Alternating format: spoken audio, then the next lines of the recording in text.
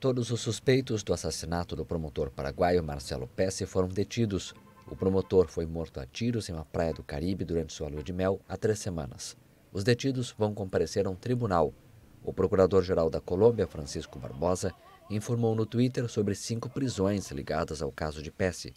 O promotor, de 45 anos, investigava casos de tráfico e crime organizado. Seu assassinato, cometido por mercenários que dispararam a bordo de jet skis na praia do Hotel Decameron, onde o casal estava hospedado, comoveu a sociedade paraguaia.